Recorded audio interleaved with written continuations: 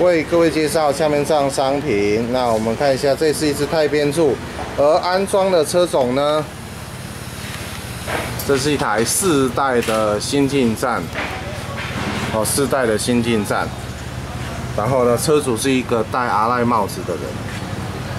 好的，那我们来看一下四代新进站来安装一个麦可仓库机车精品的一个太边柱。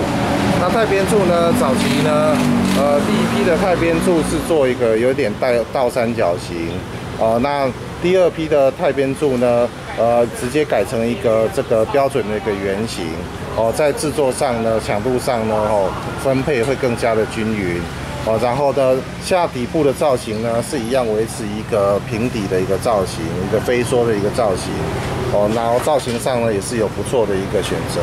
然后上座的话呢是采用这个一体式的上座，它跟下面的呃管身的部分呢经过一个焊接。好的，我们来看一下。然后再搭配一个钛合金的这个呃镀钛的一个弹簧，哦，整体的一个质感呢。呃，还是比原厂好太多太多。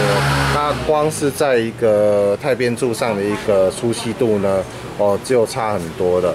然后再各位看一下正前方，哦，正前方，哦，在这个边柱上的一个斜度，哦，那基本上呢也是有受过这个呃。